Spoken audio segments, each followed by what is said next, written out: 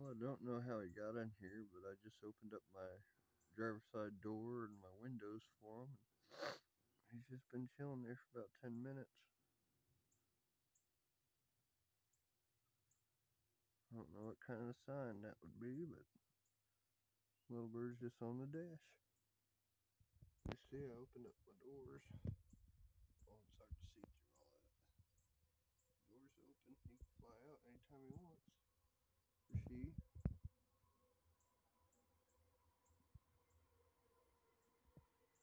Chilling on the dash.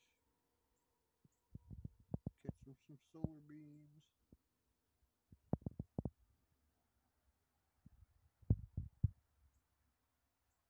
It's taking a nap. Guess it's happy.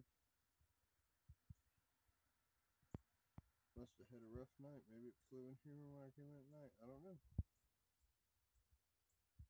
Never had a bird in the RV. bird. Just sleeping.